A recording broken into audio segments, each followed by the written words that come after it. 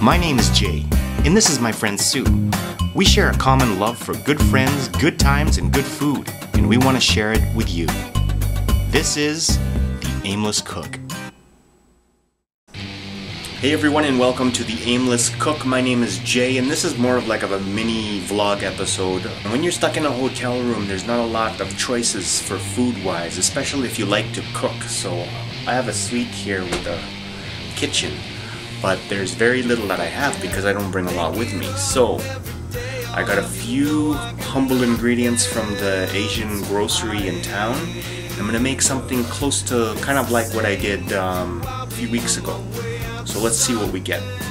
So very few ingredients here today. All we need is some kimchi, a little bit of barbecue duck, some tofu, and some instant ramen noodles. Throw away the packet because we're going to get all the flavor from the kimchi. I've got the tofu here and I'm just going to cut it into cubes while my water boils for my ramen noodles.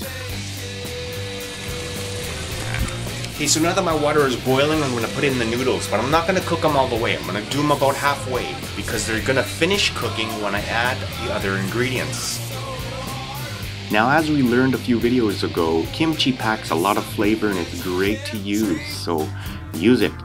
I'm putting it in the water with my ramen noodles here, and I'm just gonna add my meat and my tofu, let everything simmer for a few minutes, and then we're done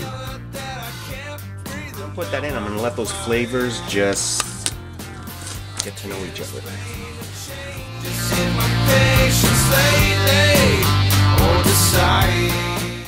So there we have it. It was very easy to do, really.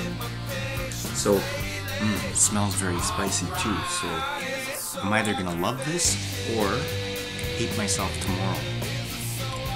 Let's give it a try.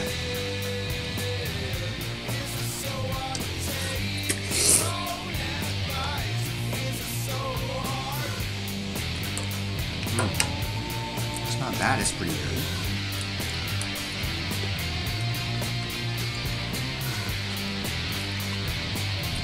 Right amount of spice. I love the kimchi. Mm. very good, hearty, and very quick. That maybe took the best part of maybe 10 minutes. So, give it a try. I'll catch you later.